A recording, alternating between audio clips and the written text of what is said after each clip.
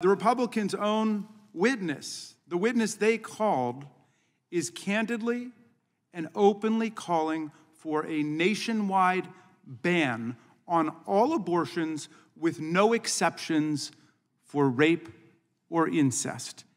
And if I've got that wrong, I would invite Ms. Foster to correct me. Do I have it wrong, yes or no? Um, If we added rape and incest exceptions, would you vote for it? Uh, okay, I I reclaim my time, of course. Uh, I'm a savage. Yeah.